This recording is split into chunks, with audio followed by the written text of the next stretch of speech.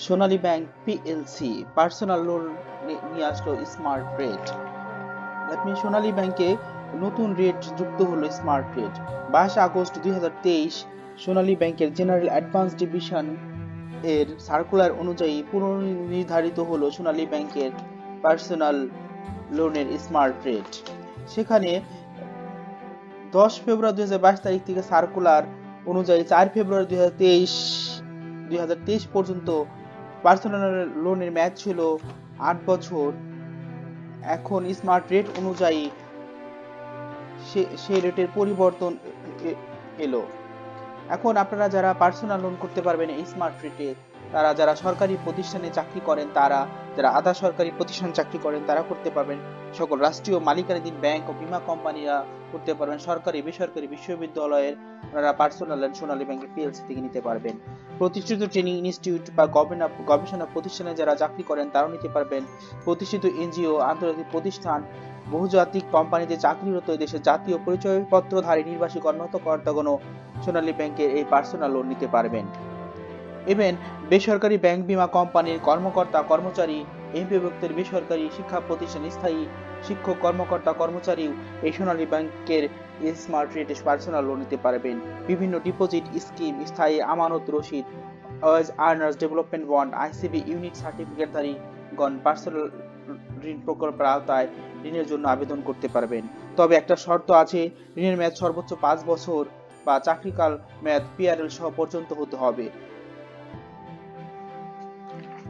তাহলে আমরা দেখি সোনালী ব্যাংকের পার্সোনাল ইন্টারেস্টে সোনালী ব্যাংক স্মার্ট রেটের রেট কত?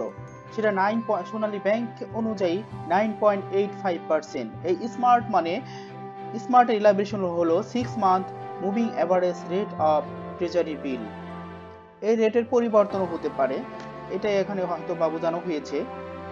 এখন সোনালী ব্যাংকের স্মার্ট রেট যেহেতু নতুন সার্কুলার হয়েছে, সেহেতু আগে কিন্তু যারা লোন নিয়েছে তাদের এই পার্সোনাল লোনের ম্যাচ ছিল আট বছর। আর এখন বর্তমানে হয়েছে, পুনর্নির্ধারণ করা হয়েছে পাঁচ বছর। তাহলে আমরা সে সম্পর্কে আমরা এখানে দেখব। এখানে তাহলে দেখছি আমাদের পার্সোনাল লোনের অবস্থা কি দাঁড়ায়।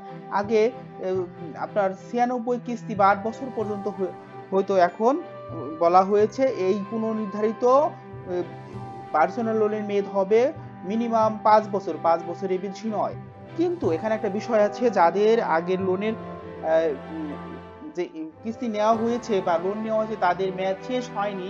আট বছর পর্যন্ত রয়েছে, তাদের শুধু আগের আট বছর পর্যন্ত থাকবে। কিন্তু এখন থেকে নতুন যারা এই পার্সোনাল লোন নিবে, তাদের মেয়াদ হবে পাঁচ বছর, পুনর্নির্ধারিত পাঁচ বছর এবং এই ইন্টারেস্ট রেট হবে nine point eight five smart rate এতে সময় ভেদে একটা পরিবর্তন হতে পারে ব্যাংক তখন সার্কুলার সার্কুলার দিয়ে দিবে।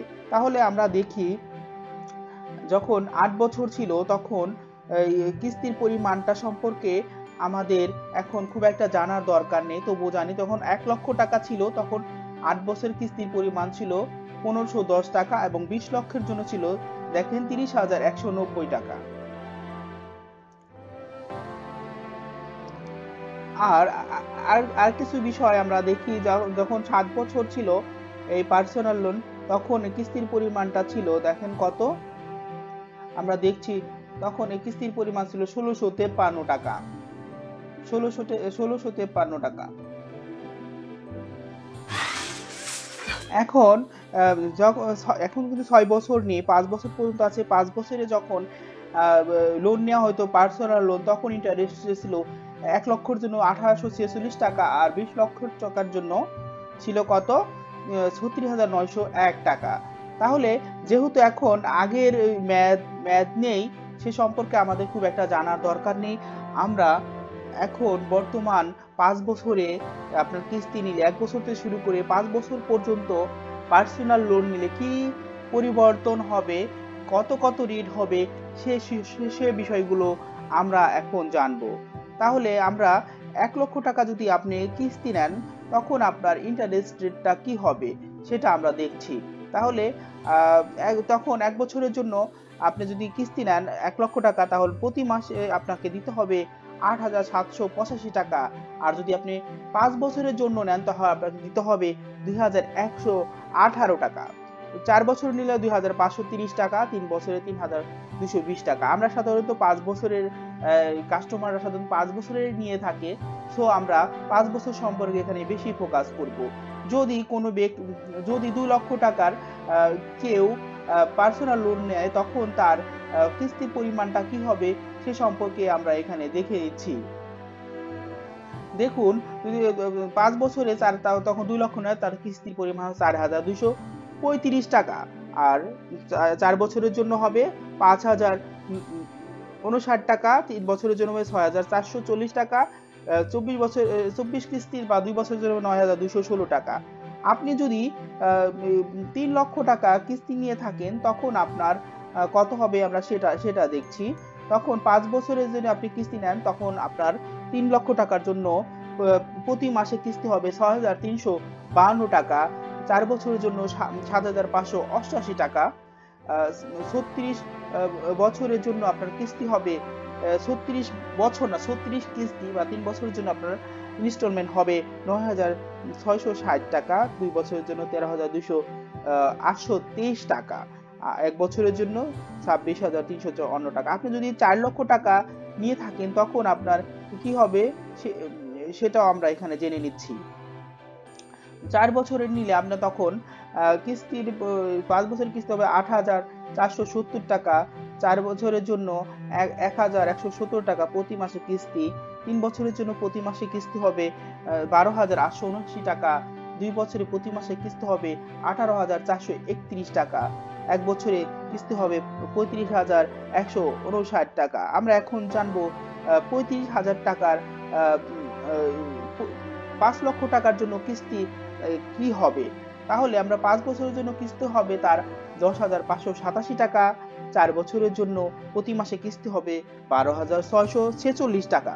তিন বছরের জন্য প্রতি মাসে কিস্তি হবে ষোলো হাজার নিরানব্বই টাকা। দুই বছরে কিস্তি হবে তেইশ হাজার আটত্রিশ টাকা। এক বছরে কিস্তি হবে তেতাল্লিশ হাজার নয়শো নয়শো চব্বিশ টাকা। তাহলে আমরা এখন জানছি আমরা ছয় বছরের জন্য কিস্তির পরিমাণ কি হবে আমরা সেটা এখন জানব। ছয় বছরের জন্য, পাঁচ বছরের জন্য কিস্তি হবে বারো হাজার সাতশো চার টাকা, আর পাঁচ বছরে প্রতি মাসে কিস্তি হবে বারো হাজার সাতশো চার টাকা, আর চার বছরের জন্য প্রতি মাসে কিস্তি হবে পনেরো হাজার একশো পঁচাত্তর টাকা, তিন বছরে নয় হাজার উনিশ হাজার দুইশো উনিশ টাকা, দুই বছরে কিস্তি হবে সাতাশ হাজার ছয়শো ছেচল্লিশ টাকা। আরেকটা বিষয়, আপনি সর্বোচ্চ বিশ লক্ষ টাকা পর্যন্ত সোনালী ব্যাংক থেকে পার্সোনাল লোন নিতে পারেন। এখন সাত লক্ষ টাকার জন্য আপনার কিস্তির পরিমাণ কি হবে সেটা আমরা জানছি। আপনি সাত লক্ষ টাকার কিস্তি পরিমাণ হবে চোদ্দ হাজার আটশো বাইশ টাকা চার বছরের সতেরো হাজার সাতশো চার টাকা, তিন বছরের জন্য বাইশ হাজার পাঁচশো আটত্রিশ টাকা প্রতি মাসে কিস্তি, দুই বছরের জন্য প্রতি মাসে কিস্তি তিন হাজার দুইশো চুয়ান্ন টাকা। এক বছরে কিস্তি একষট্টি হাজার চারশো তিরানব্বই টাকা। যদি আপনি আট হাজার টাকা পার্সোনাল লোন নিয়ে থাকেন, তখন আপনার কিস্তির পরিমাণটা কি হবে সেটাও আমরা দেখে নিচ্ছি। তখন পাঁচ বছর আপনার কিস্তি হবে ষোলো হাজার নয়শো উনচল্লিশ টাকা। প্রতি মাসে কিস্তি দিতে হবে চার বছরে কিস্তি দিতে বিশ হাজার দুশো তেত্রিশ টাকা। তিন বছরের কিস্তি দিতে হবে পঁচিশ হাজার সাতশো আটান্ন টাকা। দুই বছরের কিস্তি দিতে হবে ছত্রিশ হাজার আটশো একষট্টি টাকা। এক বছরে দিতে হবে সত্তর হাজার দুশো সাতাত্তর টাকা। এক বছরে আপনি যদি পেমেন্ট করতে চান। আর নয় লক্ষ টাকা যদি আপনি নিতে চান, তখন আপনার কিস্তির পরিমাণটা কী হবে সেটাও আমরা এখানে জেনে নিচ্ছি। পাঁচ বছরে জন্য আপনি নয় লক্ষ টাকা দিলেন, প্রতি মাসে কিস্তি হবে উনিশ হাজার ছাপ্পান্ন টাকা। চার বছরে কিস্তিতে হবে বাইশ হাজার সাতশো বাষট্টি টাকা। ছত্রিশ কিস্তিতে দিতে হবে আঠারো হাজার নয়শো আটাত্তর টাকা। চব্বিশ কিস্তিতে দিতে হবে। একচল্লিশ হাজার চারশো উনসত্তর টাকা প্রতি মাসে এক বছরে নিতে হলে উনআশি হাজার বাষট্টি টাকা। যদি দশ লক্ষ টাকার পার্সোনাল লোন নিতে চান, তাহলে আপনাকে কি কি দিতে হবে সেটা আমরা জেনে নিচ্ছি। পাঁচ বছরের জন্য আপনার কিস্তি দিতে হবে একুশ হাজার একশো চুয়াত্তর টাকা দশ লক্ষের জন্য প্রতি মাসে। দশ লক্ষের জন্য চার বছর দিতে হবে, পঁচিশ হাজার নয়শো, দুইশো একানব্বই টাকা, এক বছরের জন্য বত্রিশ হাজার সাতানব্বই টাকা দুই বছরের জন্য ছেচল্লিশ হাজার ছিয়াত্তর টাকা, এক বছরের জন্য সাতাশ হাজার আটশো সাতচল্লিশ হাজার আপনি- যদি এগারো লক্ষ নিতে চান, তখন আপনার কিস্তির পরিমাণটা কি হবে? আপনি যদি এগারো লক্ষ টাকা কিস্তি নিতে চান, যদি এক বছরে পেমেন্ট করতে হন তাহলে প্রতি মাসে আপনাকে পরিশোধ করতে হবে ছিয়ানব্বই হাজার ছয়শো একত্রিশ টাকা। আপনি যদি দুই বছরে কিস্তি পরিশোধ করতে চান, তাহলে আপনার প্রতি মাসে দিতে হবে পঞ্চাশ হাজার ছয়শো চুরাশি টাকা। আপনার তিন বছর দিতে হবে পঁয়ত্রিশ হাজার চারশো সত্তর টাকা প্রতি মাসে। চার বছর দিতে হবে সাতাশ হাজার আটশো বিশ টাকা। আর পাঁচ বছর দিতে হবে তেইশ হাজার দুশো একানব্বই টাকা। আর আপনি যদি বারো লক্ষ টাকায় পরিশোধ করতে চান বারো লক্ষ টাকা পার্সোনাল লোন নিতে হন, চান, তাহলে সে সম্পর্কে আপনার ইনস্টলমেন্ট সম্পর্কে আপনি জানতে হবে। সেটা হলো আপনার পাঁচ বছরই আপনাকে পেমেন্ট করতে হবে পেমেন্ট করতে হবে পঁচিশ হাজার চারশো আট টাকা। চার বছর দিতে হবে তিরিশ হাজার তিনশো উনপঞ্চাশ টাকা। তিন বছরের কিস্তি দিতে হবে আটত্রিশ হাজার ছয়শো সাঁত্রিশ টাকা। দুই বছরে প্রতি মাসে কিস্তি দিতে পঞ্চান্ন- হাজার দুইশো একানব্বই টাকা, এক বছরে কিস্তি দিতে হবে দশ হাজার না, দশ হাজার না তো, এক লক্ষ পাঁচ হাজার চারশো ষোলো টাকা প্রতি মাসে আপনাকে পেমেন্ট করতে হবে। আপনি যদি তেরো লক্ষ টাকা নিতে চান, তাহলে আপনার এক বছরে পরিশোধ করতে চাইলে এক লক্ষ চোদ্দ হাজার দুশো টাকা, সাধারণত এক বছর কেউ নেয় না, খুবই কম নেয় পাঁচ বছরই নেয়, এটাই আমাদের পাঁচ বছর সম্পর্কে আমাদের বেশি জানা উচিত। দুই বছর নিলে প্রতি মাসে কিস্তি হবে উনিশ হাজার আটশো নিরানব্বই টাকা, তিন বছরে একচল্লিশ হাজার আটশো ছাপ্পান্ন টাকা, চার বছরে কিস্তি দিতে হবে বত্রিশ হাজার আটশো আটাত্তর টাকা, পাঁচ বছর দিতে হবে সাতাশ হাজার পাঁচশো ষোলো টাকা। তাহলে চোদ্দ বছর যদি চোদ্দ লক্ষ টাকা যদি কেউ নিতে চায়, তখন তাকে কি পরিশোধ করতে হবে, কি পরিমাণ পরিশোধ করতে হবে সে সম্পর্কে আমরা এখানে জেনে নিচ্ছি।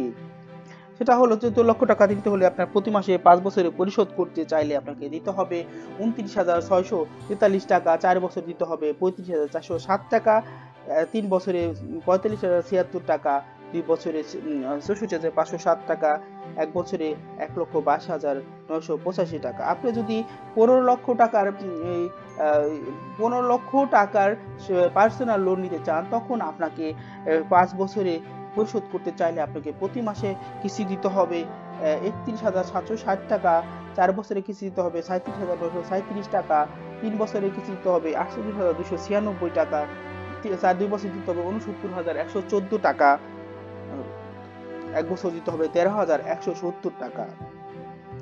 অ্যাজ দ্য সেম প্রসেস আপনি যদি ষোলো লক্ষ টাকার পার্সোনাল লোন সোনালী ব্যাংক থেকে নিতে চান, তাহলে আপনি কি পরিশোধ করতে হবে? তখন আপনাকে পাঁচ বছরে প্রতি মাসে দিতে হবে তেত্রিশ হাজার আটশো আটাত্তর টাকা, চার বছর দিতে হবে চল্লিশ হাজার চারশো পঁয়ষট্টি টাকা। এভাবে আপনি এখানে দেখে নিচ্ছেন। এখন আপনি সতেরো লক্ষ টাকা যদি সোনালী ব্যাংক থেকে পার্সোনাল লোন নিতে চান, তখন আপনার কিস্তির পরিমাণটা কি হবে? তখন আপনাকে যে পাঁচ বছরের পরিশোধ কিস্তি নিতে চাইলে আপনাকে পঁয়ত্রিশ হাজার নশো পঁচানব্বই টাকা দিতে হবে। চার বছরে বিয়াল্লিশ হাজার নশো পঁচানব্বই টাকা দিতে হবে। সাধারণত পাঁচ বছরই সাধারণ মানুষ নেয় জন্য পাঁচ বছর দেখাচ্ছি। আঠারো লক্ষ টাকা যদি কেউ কিস্তি নিতে চায়, তখন তাকে সোনালী ব্যাংকে প্রতি মাসে কি পরিশোধ করতে হবে, সেটা আমাদের জানা দরকার। সেটা আপনার কিন্তু আটত্রিশ হাজার একশো বাইশ টাকা, পঁয়ত্রিশ পাঁচ বছরে পরিশোধ করতে হলে চার বছরে পঁয়তাল্লিশ হাজার পাঁচশো চব্বিশ টাকা। আপনি যদি উনিশ লক্ষ টাকা সোনালী ব্যাংক থেকে নিতে চান, তাহলে আপনাকে কি পরিশোধ করতে হবে সেটা সম্পর্কে আমরা জেনে নিই। তখন আপনার চল্লিশ প্রতি মাসে চল্লিশ হাজার চল্লিশ হাজার দুশো তিরিশ টাকা পাঁচ বছরে পরিশোধ করতে হবে। চার বছরে পরি- পরিশোধ করতে আটচল্লিশ হাজার তেপ্পান্ন টাকা। আপনি যদি বিশ লক্ষ টাকার পার্সোনাল লোন সোনালী ব্যাংক থেকে নিতে চান, তাহলে আপনাকে কি করতে হবে? সেটা হলো আপনাকে পাঁচ বছরে বিয়াল্লিশ হাজার তিনশো সাতচল্লিশ টাকা দিতে হবে। চার বছর দিতে হবে পাঁচ- পঞ্চাশ হাজার পাঁচশো বিরাশি টাকা।